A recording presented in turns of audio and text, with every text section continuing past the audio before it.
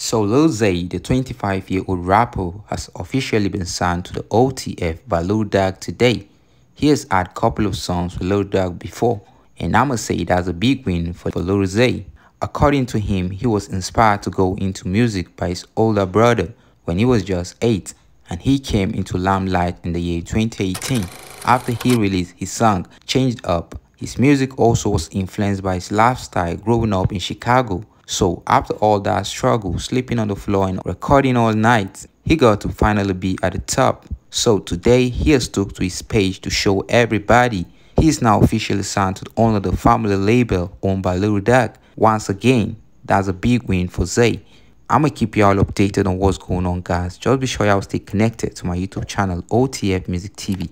Don't forget to hit that subscribe button and turn on your notification bell so y'all can stay connected and get notified when next I drop another video.